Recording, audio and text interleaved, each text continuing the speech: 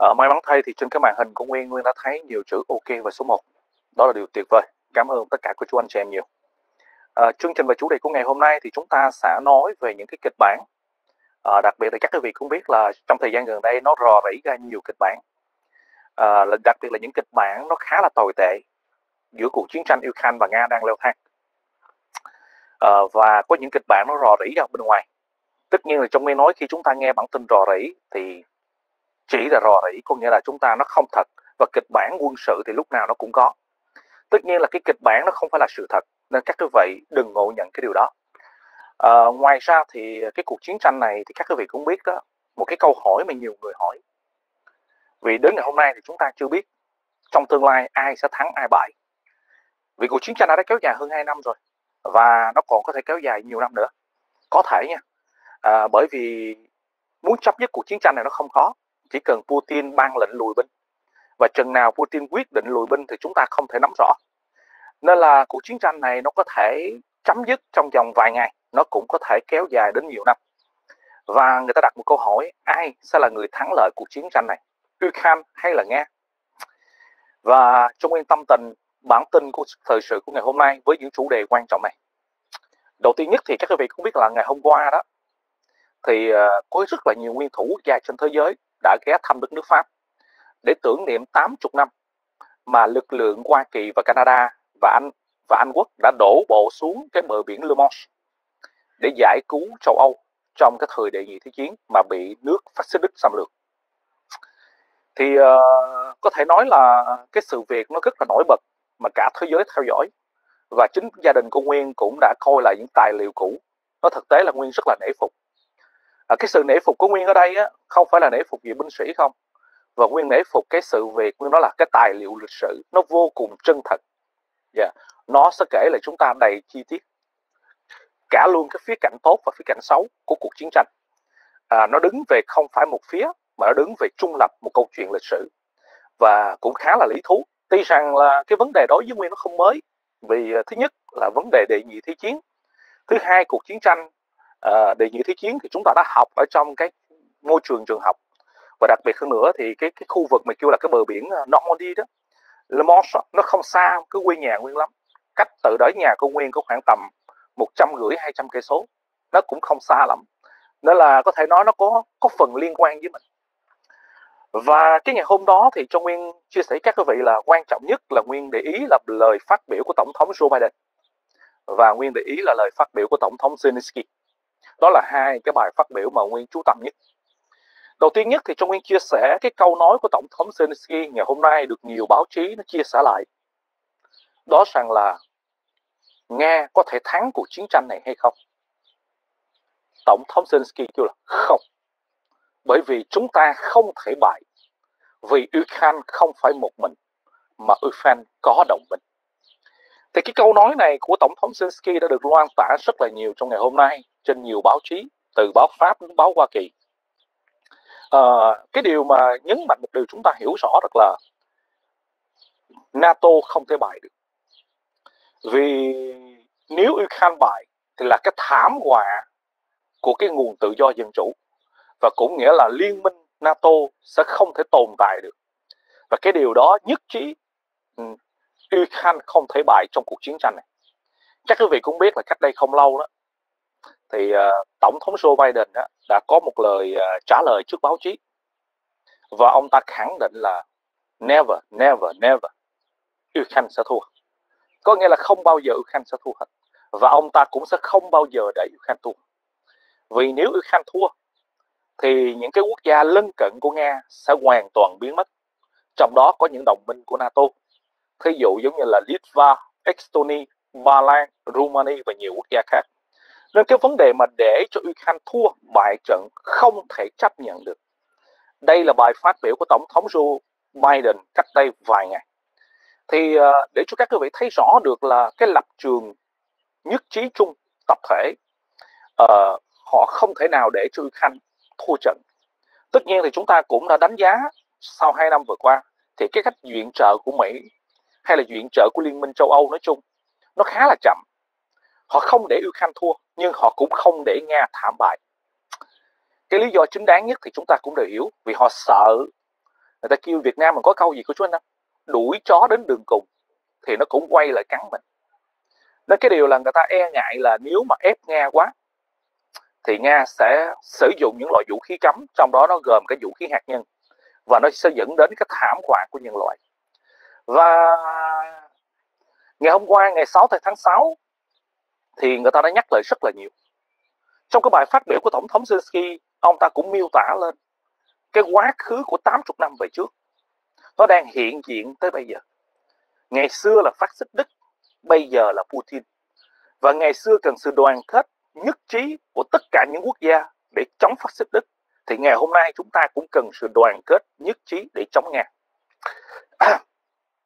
À, có thể nói bài diễn văn của tổng thống Zelensky ở tại quốc hội của Pháp khá dài à, đã miêu tả lên hết tất cả những cái à, cái sự những bài học đáng giá ở trong quá khứ và sự đoàn kết nhất trí đã tạo ra những cái hòa bình được 80 năm vừa qua và bây giờ cái hòa bình nó đã tan vỡ do sự xâm lược của Putin vào trong lãnh thổ của Ukraine.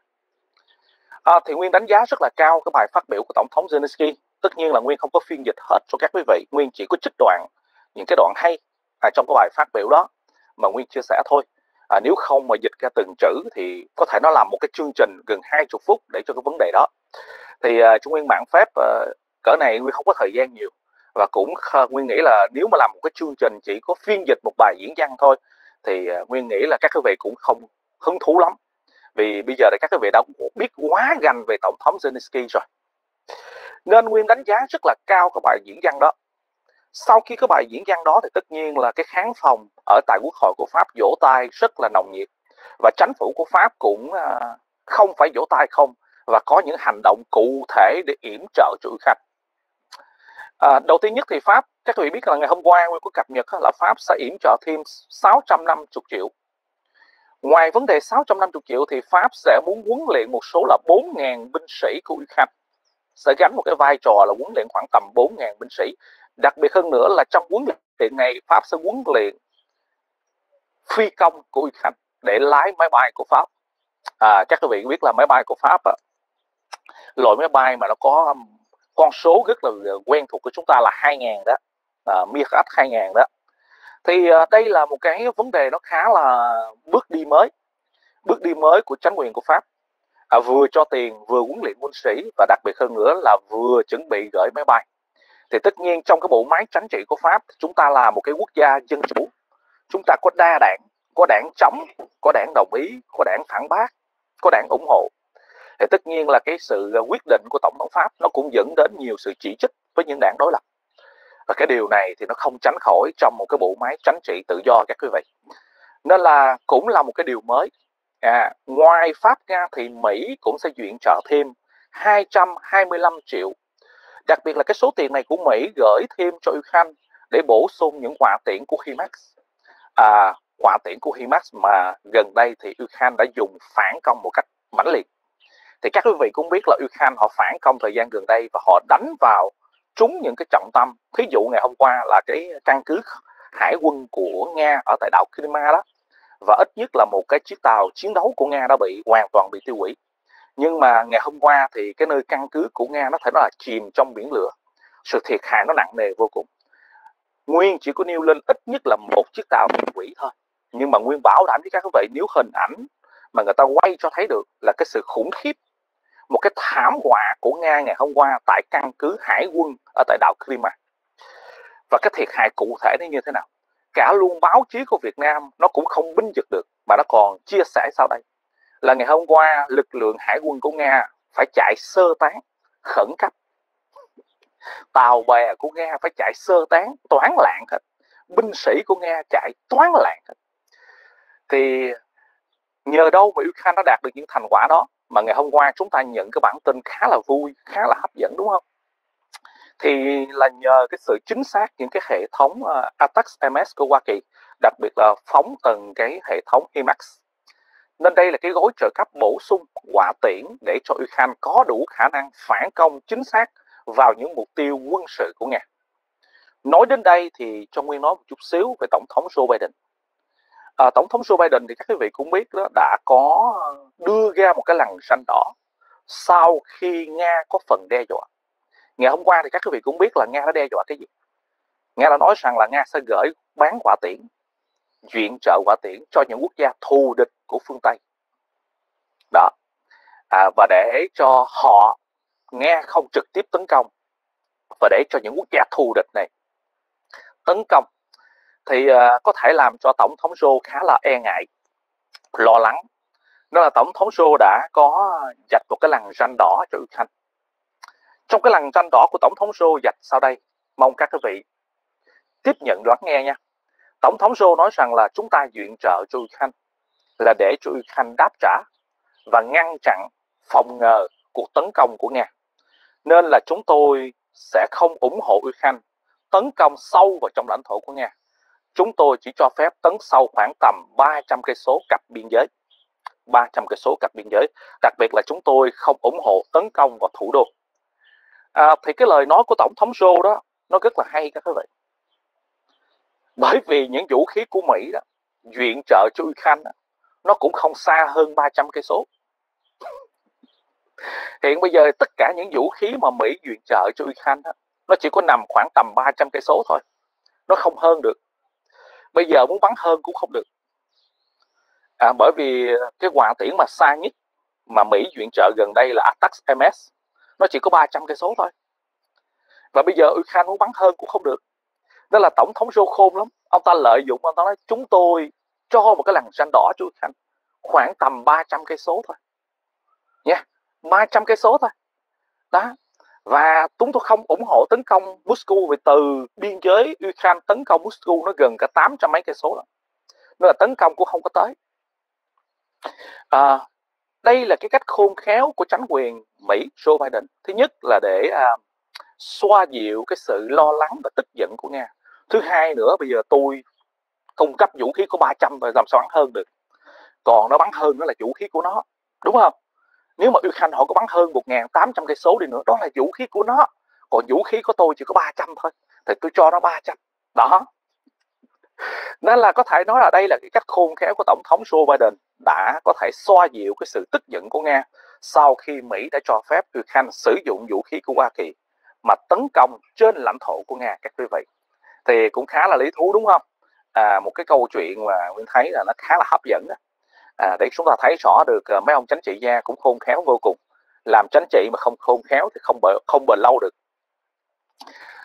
Đó là bản tin liên quan đến cái sự lằn xanh đỏ mà tổng thống Joe Biden đã đặt cho phía bên Ukraine đối với Ukraine cái lằn xanh đỏ này nó không có cái gì hết.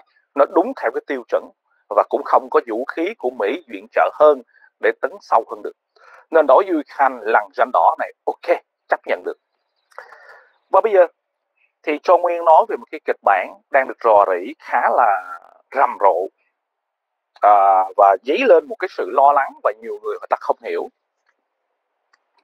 À, cho Nguyên nói là cô chú anh chị em cũng biết đó là giữa cuộc chiến tranh Ukraine và Nga đó từ những ngày đầu cuộc chiến đó, là người ta sợ cái cuộc chiến tranh này nó leo thang.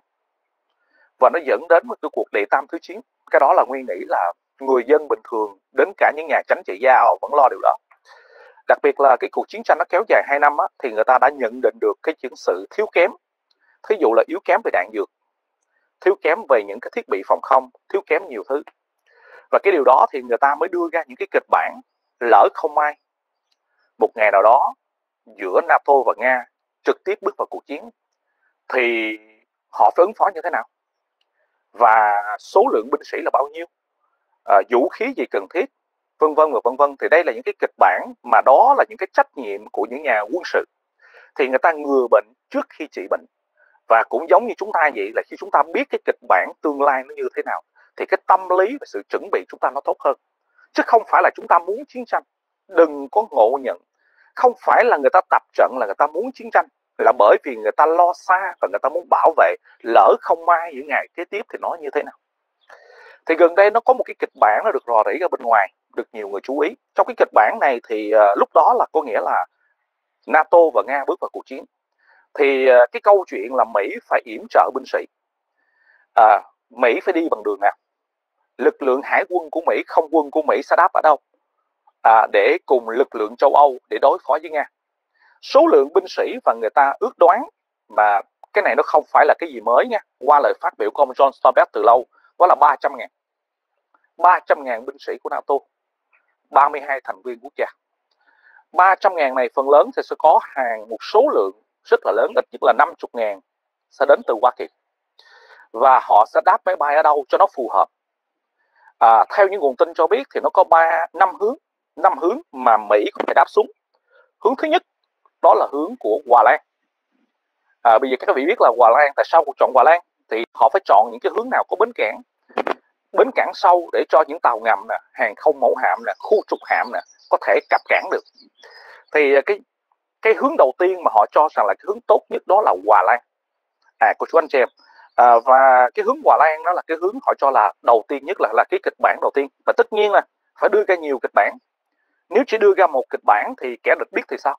Đó là kịch bản đầu tiên là lực lượng hải quân và không quân của Mỹ sẽ đến Hòa Lan đậu qua đó và tiếp tế và đi thẳng qua tới biên giới của Nga. Có nghe đi ngang qua Đức, ngang qua những cái quốc gia đó, thẳng tới qua Ba Lan và tới cái khu vực tranh chấp. Cái hướng thứ hai, nếu hướng thứ một thấy nguy hiểm thì họ chọn cái phương hướng thứ hai. Đó là đi xuống miền Nam châu Âu, đó là cái hướng Italy. Italy. Thì các quý vị cũng biết là cái hướng Italy cũng là một cái hướng ờ, ổn định tất nhất là xa Ukraine. Thứ hai nữa, Italy cặp ven biển và nhiều bến cảng lớn có thể những cái uh, tàu chiến đấu lớn cũng có thể cập bến được. Hướng thứ hai là Italy. Uh, nếu cái phương án hướng thứ hai nó không được tuyệt vời vì hướng thứ hai nó rất là xa đến chiến trường. Các vị biết cái hướng thứ hai từ Italy mà đến biên giới của Nga đó nó khá là xa. Nên nếu cái phương án hướng thứ hai nó không phải là hợp lệ lắm thì họ chọn phương án thứ ba phương án thứ ba họ xích gần lại hơn. Đó là cái khu vực khét lệnh. Khét lệnh. Khét lệnh các bạn. Khét lệnh. À, là Hy Lạp.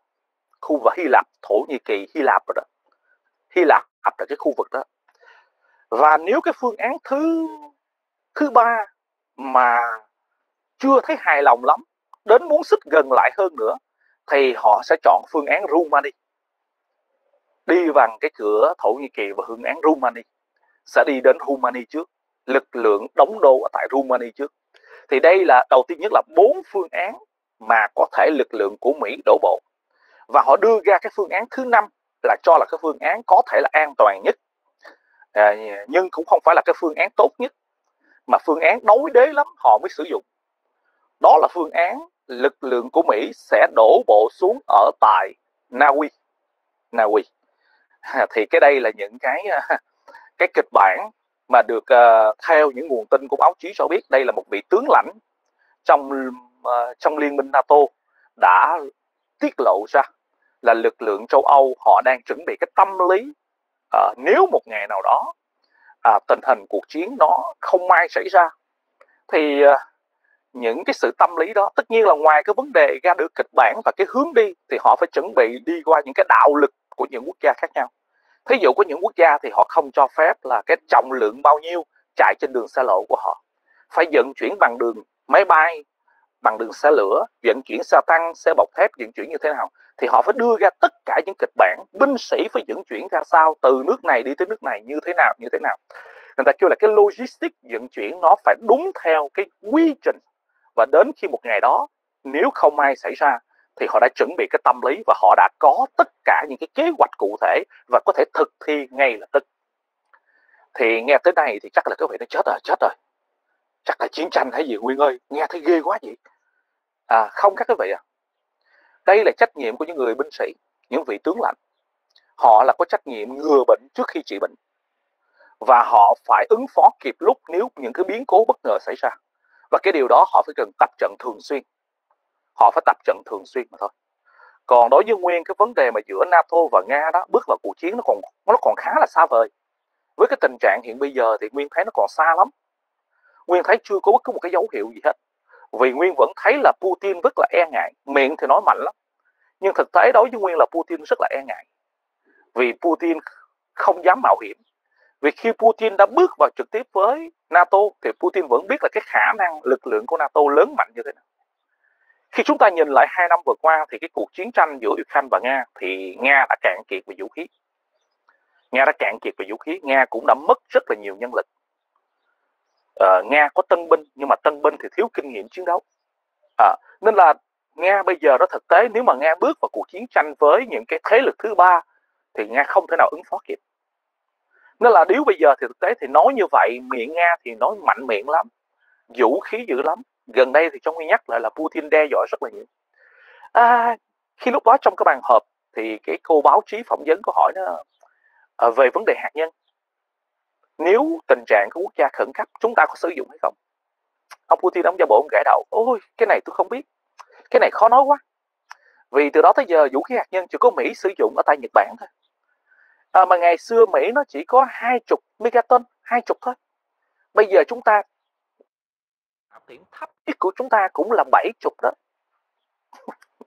Ông nói cái mà nhỏ nhất của chúng ta cũng là sáu, bảy chục. Ngày xưa Mỹ sử dụng ở tại Nhật Bản. Bây giờ cái nhỏ nhất chúng ta cũng bảy, sáu chục. Nhưng cái điều này nó khó nói lắm. À nhưng mà nếu mà tình trạng khẩn cấp và để bảo vệ chủ quyền của đất nước thì tôi sẵn sàng sử dụng.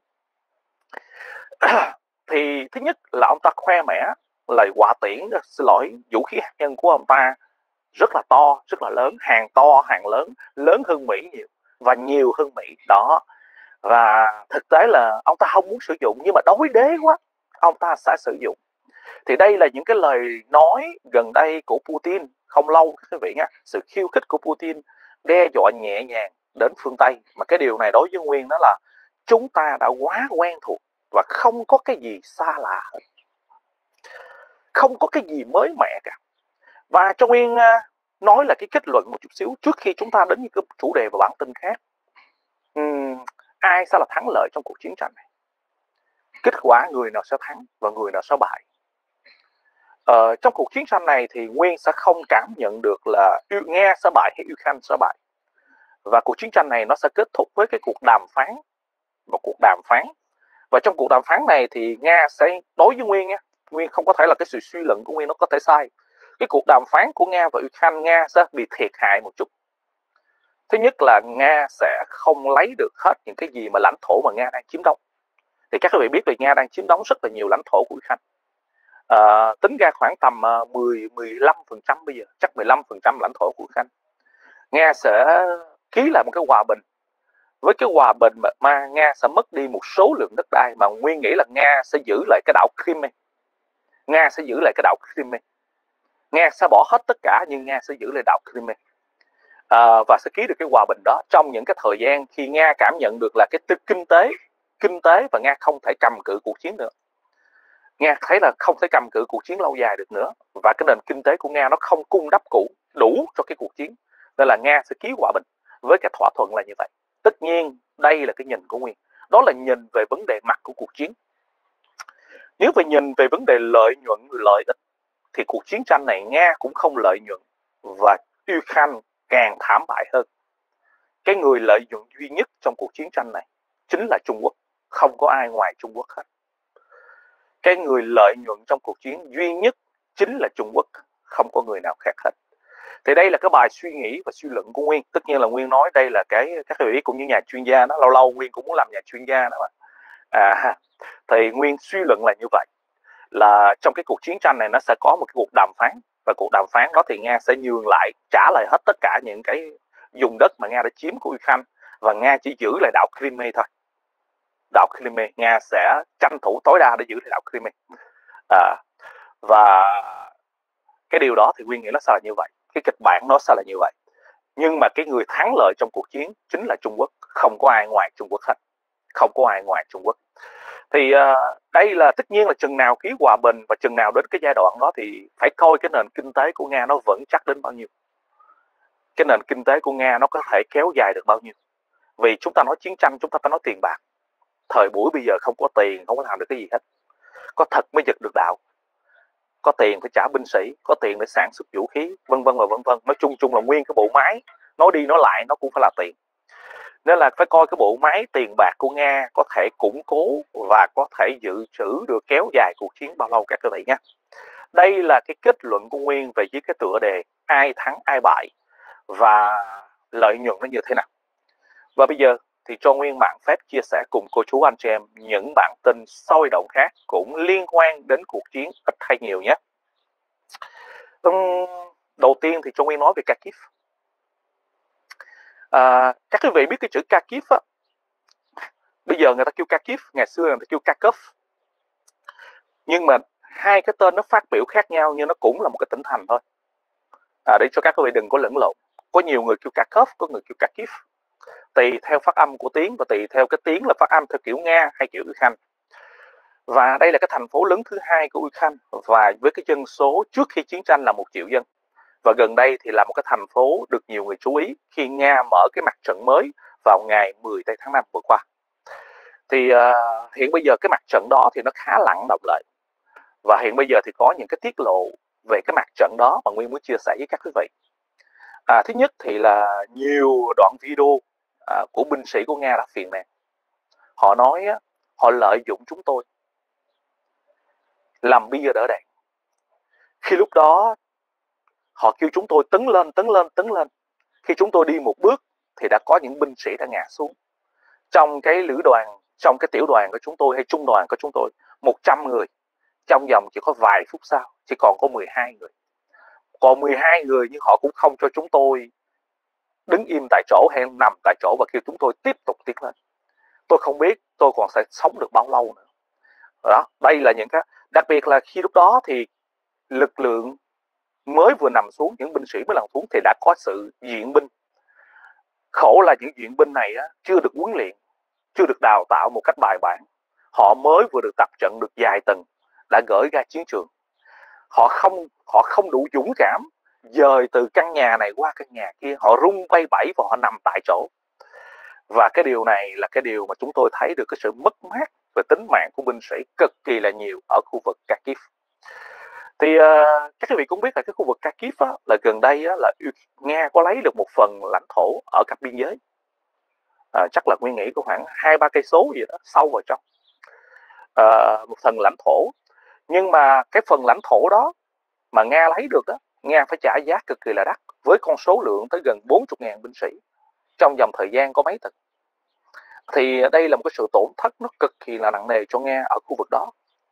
Mà đối với Nguyên thì ờ, người khác thấy lo lắng chứ đối với Nguyên có cảm giác là đối với Putin là Putin đang dùng cái chiêu là biển người mà, là dùng số lượng đông, lấy đông áp đảo và dùng binh sĩ để hy sinh để cho lực lượng máy bay không người lái pháo đài của Ukraine hao mòn, dùng tính mạng của con người để cho vũ khí của Ukraine hao mòn. Nên là cứ kêu binh sĩ tiến lên tiến lên không ngừng. Thì đây cũng là một cái biện pháp mà nhân lực của Nga đông đặc biệt là Nga lính đánh thuê nhiều nước ngoài nhiều chết thì khỏi phải trả tiền. Chết thì khỏi phải trả tiền. Nên là các cái vị nguyên nhớ nha anh chị em nào mà có ngu dại à, bởi vì đồng tiền đó mà sáng con mắt rồi đầu quân cho nghe đó rồi cầm súng cho nghe đó thì các quý vị phải nhớ là khi anh đi không người đưa tiễn mà khi anh về bảy bốn người khiêng những cái hứa hẹn của nga về tiền bạc đó, thì các quý vị sẽ không nhận được đâu khi các quý vị không còn tồn tại. Nên là mong muốn là các anh chị em ở Việt Nam phải suy nghĩ kỹ vì Nguyên biết là tuy rằng chánh quyền của Việt Nam không nói về cái điều chiêu mộ không ai nói gì hết. Nhưng Nguyên tích Nguyên tin chắc đâu đó âm thầm có sự chiêu mộ. Vì Nga chiêu mộ khắp nơi trên thế giới tại sao không có chiêu mộ Việt Nam? Nên là cái điều đó chính phủ Việt Nam thì tế nhị vì sợ cái vấn đề này bị thế giới lên án nên là họ không muốn nói. Nhưng mà nguyên nói âm thầm đâu đó thì lực lượng của nga sẽ chiêu mộ những anh bộ đội à, những anh bộ đội. À, của Việt Nam chúng ta đến chiến trường giữa Ukraine và Nga. Đây là bản tin nho nhỏ mà Nguyên chia sẻ ở tại khu vực Kharkiv. Cái khu vực Kharkiv bây giờ nó được khá là lắng động là nhờ một cái ý kiến mới. Đó là, có thể nó là một bầy chuồng chuồng máy bay không người lái, là một bầy một bầy máy bay không người lái. Có thể nói là nó bay ngập trời để bảo vệ biên giới. Ngày hôm nay thì Ukraine đã sử dụng cái này chỉ dùng máy bay không người lái, mà thôi. Chung chung chung điệp điệp máy bay không người lái. Lao vào kẻ địch. Bây giờ trang bị thêm là máy bay không người lái, trang bị thêm những cái súng nữa. À súng tiểu liên ở trên máy bay không người lái nữa. Đó là bây giờ máy bay không người lái nó trang bị mìn cả luôn súng đạn nữa. Đó là hiện bây giờ Ukraine đã dùng nguyên một cái bầy, nguyên một cái bầy giống như một bầy chim bay vậy đó. Đó, hàng ngàn con như vậy. Một hàng máy bay gái mỗi lần như vậy thì nhờ cái chiến lược này nó cũng đã khá là thành công nó đã ngăn chặn được cái cuộc uh, tấn công của nga ở khu vực này khu vực này đây là bản tin liên quan đến khu vực Kharkiv mà Nguyên nghĩ là phải nói một chút xíu. Và bây giờ thì cho Nguyên cập nhật những bản tin khá là chấn động ở trong đất nước Nga. À, ngày hôm nay có một sự kiện khá là nổi bật. Đó là một con trai, một con trai một tập đoàn công ty lớn sản xuất vũ khí, à, sản xuất vũ khí à, cho đất nước Nga đã bị ám sát ở tại Moscow. Thì uh, các quý vị cũng biết là cái vấn đề mà ám sát á, vấn đề mà những nhà chính trị gia vấn đề ở xảy ra tại Nga khá là thường xuyên. Đặc biệt là lạ đây là con trai của một ông chủ tập đoàn sản xuất vũ khí hàng đầu của đất nước Nga bị ám sát trong một cái giai đoạn mà đất nước chiến tranh mà cái cái nền tảng sản xuất vũ khí nó đang cần thiết. Thì nó đã dấy lên nhiều sự âm mưu người ta không hiểu rõ đặc biệt hơn nữa là làm sao ám sát được. Trong một cái bối cảnh hiện bây giờ đất nước Nga là phải nói loại trừ tất cả những gián điệp tình báo. Và ám sát như vậy là lý do như thế nào? À, cái điều này là một cái điều mà người ta đang khá là bữa nay khá là nổi bật và nhiều người nghe đặt câu hỏi. Phải chăng là vấn đề nội bộ? Tranh chấp nội bộ quyền lợi vì các vị biết là bây giờ sản xuất vũ khí là tiền dữ lắm. Hay là bởi vì không làm hài lòng trắng quyền Putin? Putin loại trừ chăng? Cũng không biết. Đó là hiện bây giờ cái vấn đề này đang à, được à, nhiều dư luận của nga ở tại trong đất nước. Để ý à, đặc biệt hơn nữa thì à, các vị biết là ai có tầm đủ khả năng ảnh hưởng đến quyền lợi của Putin thì sẽ không còn tồn tại tại đất nước nga. Chúng ta điển hình là không ai xa lạ tất cả những người bạn thân của nga. Putin chứ ai? Các vị nhìn đã có những người đã tử vong.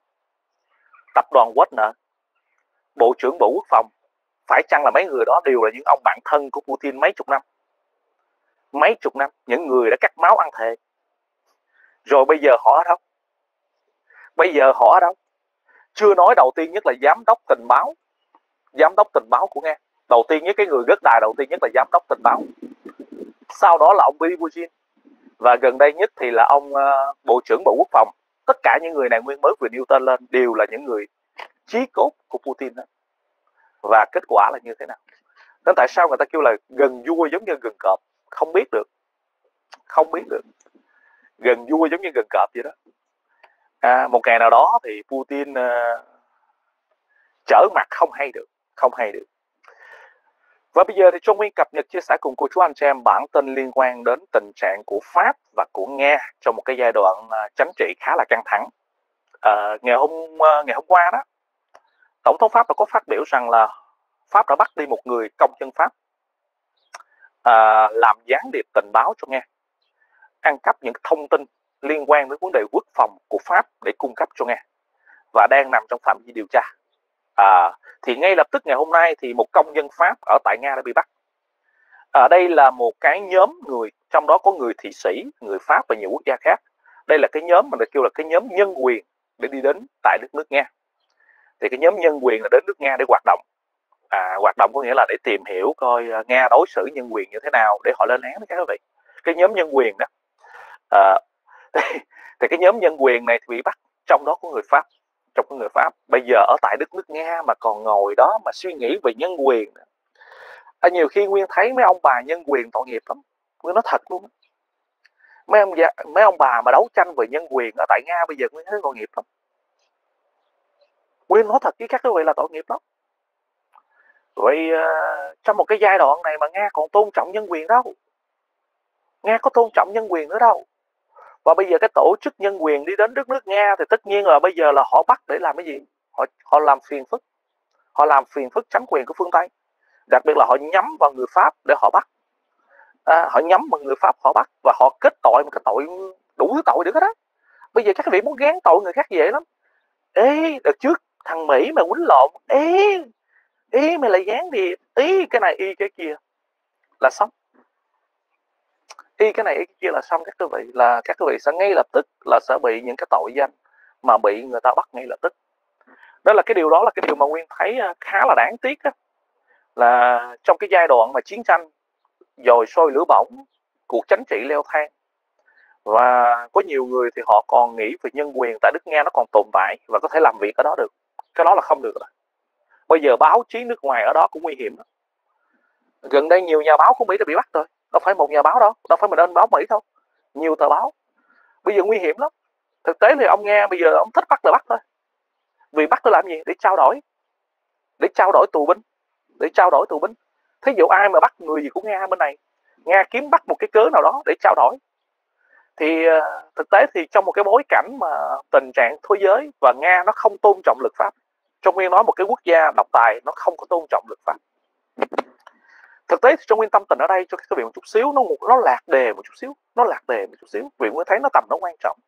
Để cho các quý vị nhớ rằng là, ở những quốc gia độc tài, không ai tôn trọng luật pháp hết. Từ người dân đến chính phủ. Cả người dân cũng không tôn trọng luật pháp, mà cả chính phủ cũng không tôn trọng luật pháp. Luật pháp là theo hoàn cảnh, theo bối cảnh. Các quý vị phải nhớ điều đó à cái bối cảnh ông này có bối cảnh nè. Ông này ông quan lớn nè. Ôi thôi, thôi thôi thôi chuyện này mình làm nhỏ lại mình cho nó qua. À hoàn cảnh ô cái hoàn cảnh này đúng ra là bỏ qua được vì duy luận xôn xao quá. Thôi mình phải lên án. Mình phải nói là không trong những cái quốc gia độc tài nó không pháp. Luật pháp là viết để cho có trong sách vở dạy người dân. Nhưng mà thực tế cả người dân và chính phủ chẳng ai tuân theo hết và chỉ có đi theo cái lệnh kêu là khi action có nghĩa là đi theo cái lệnh quyền lực của chính phủ nhà nước ban ra mà nhà nước chưa bao giờ tôn trọng luật pháp bao giờ. À đó là cái điều đó là cái điều mà tại Đức nước nga ngày hôm nay với những cái quốc gia độc tài mà chúng ta cứ suy nghĩ theo luật pháp của quốc tế luật pháp của đất nước nga và chúng ta áp dụng thì thực tế thì cái người đó họ không hiểu được cái bối cảnh chính trị của nga ngày hôm nay. Nên tại sao nguyên nói là ở đâu phải biết ở đó? À, ăn con nồi ngồi cái hướng là như vậy nên là trong một cái bối cảnh mà có nhiều người bị bắt thì đó là chuyện bình thường. Nên là gần đây nhất người ta đã khuyên rất là nhiều. Không có đến đất nước nga. Dù các quý vị có mang hai quốc tịch cũng vậy. Đừng có trở về đó. Vì các quý vị bị bắt chúng tôi không biết cách làm sao can thiệp. Vì một cái nguyên nhân một cái lý do nào đó người ta có thể bắt các quý vị bất cứ lúc nào. Đó là bản tin liên quan đến cái sự việc bắt bớ uh, vô căn cứ bắt bớ để trả đũa lẫn nhau tức là bắt bớ để trả đũa lẫn nhau đó à, để mà sau này để trao đổi con tin đó là cái điều mà họ đang làm các quý vị và bây giờ thì cho nguyên mạng phép chia sẻ cùng cô chú anh chị em có một cái quốc gia mà nguyên rất là yêu mến và bữa nay có những cái hành động à, cứng rắn với nga. Cái quốc gia này nó thực tế nó còn nhỏ hơn Việt Nam nữa mà chúng ta trong diễn đàn nói rất là nhiều đó Đài Loan. À, chắc là biết là không phải nước nước nào cũng kêu Đài Loan là quốc gia đâu. Việt Nam mình chưa bao giờ kêu Đài Loan là quốc gia chính phủ Việt Nam mình chưa bao giờ dám nói câu đó. Nguyên cảm giác nói cái câu này nguyên cảm giác là nguyên bạo gan đúng không chính phủ Việt Nam. Việt Nam mình kêu là Đài Loan Trung Quốc. Có nghĩa là gì? Đài Loan là của Trung Quốc. Đài Loan là một tỉnh thành của Trung Quốc. Chứ chưa bao giờ dám nói là Đài Loan là quốc gia hết. À, các quý vị mà chỉ cần viết trên bài trên báo trên mạng xã hội mà các quý vị phát biểu rằng Đài Loan là một quốc gia là các quý vị là anh hùng rồi các vị ngon rồi đó. Thiệt mà. Và có nhiều quốc gia trên thế giới họ chưa dám thừa nhận Đài Loan là một quốc gia. Nhiều lắm.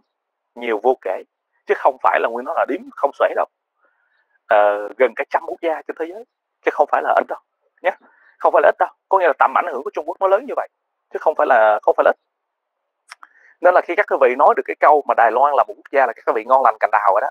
Ngon lắm rồi đó thì uh, ngày hôm nay thì có một bản tin của Đài Loan mà Nguyên thấy uh, cái sự uh, nỗ lực của Đài Loan để bảo vệ cái công lý và hòa bình nó hay. Vì mình khi mình bảo vệ phía yếu mình bảo vệ công lý thì cái một ngày mình bất công người ta mới giúp mình. Cuộc đời lúc nào cũng vậy mà. Mày khoanh tay với cái sự bất công mày phất lờ những sự bất công. Khi một ngày nào đó mày bị thì ai giúp mình? Nên cái điều mà Đài Loan họ học được cái bài học đó nên là họ có thể nói là cái đất nước Đài Loan đó là trong cái bối cảnh tình trạng của kinh tế và chính trị đúng ra là họ phải im lặng.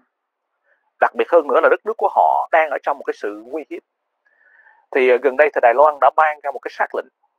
Tất cả những kêu là những cái vật liệu hay là những uh, những cái công nghệ cao cấp và có thể sáng chế cả được vũ khí trong đó có đạn dược hay tất cả thiết bị vũ khí nào đó sẽ không bán cho Nga và Belarus bằng bất cứ hình thức nào. Đây là cái đạo lực với chữ ký ra của Đài Loan để ủng hộ cái à, đường lối ngăn chặn phát triển của Nga có thể tiếp tục chế tạo vũ khí. Thì các quý vị biết là Đài Loan họ có nhiều công nghệ, đặc biệt là chip bán dẫn. Nên là họ đã bắt đầu ban ra cái sắc lệnh, không biết cái đường dây nào không biết. Những sản phẩm của chúng tôi từ đất nước Đài Loan không thể nào bán cho Nga và Belarus. À, cái điều này là một cái điều mà có sự quyết định của Đài Loan khá là táo bạo vì nó sẽ dẫn đến sự trút giận của Nga. Khi lúc đó mình ơn Trung Quốc không Đài Loan cũng đã mệt mỏi rồi. Khi một cái hòn đảo của mình nhỏ xíu và chưa chắc có đồng minh bảo vệ vì chưa có ai cam kết sẽ đứng về Đài Loan. Hiện bây giờ Đài Loan vẫn chưa có người nào sổ dỗ ngực xưng tên là Trung Quốc tấn công hay một cái quốc gia nào tấn công sẽ đứng ra bảo vệ hết. Chưa có nên Đài Loan họ phải cố gắng phấn đấu nên làm sao nguyên nhớ cái bài thán văn về. Bà nói á, cái vấn đề mà bảo vệ đất nước á, nó có vài vấn đề quan trọng rồi không phải cần người khác giúp đỡ. Mà thứ nhất, chúng ta phải đoàn kết. Thứ hai, chúng ta phải chứng minh cho thế giới thấy cần thiết để bảo vệ chúng ta. Cái hành động của chúng ta đóng góp cho thế giới, hành động của chúng ta làm như thế nào? Để cho người ta sẽ hãnh diện và ủng hộ mình. Hai cái điều này nó sẽ bảo vệ Đài Loan. Thì đây là một cái phương hướng tránh trị mà nguyên thấy một cái quốc gia nhỏ nhưng mà lại có vỏ các quý vị nha nhỏ nhưng lại có vỏ